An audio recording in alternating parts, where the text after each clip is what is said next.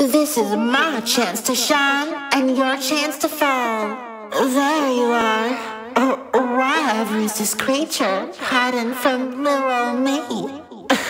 no kidding. You thought you could survive me? It's not my fault. I'm so much more famous than you. Aren't I just the shiniest? Did you actually think that you could hide from me? Closer, closer now. Just a little closer. Clear the stage, for the star of the show is now here. Now I'm a superstar. Ladies and gentlemen, the stage is now.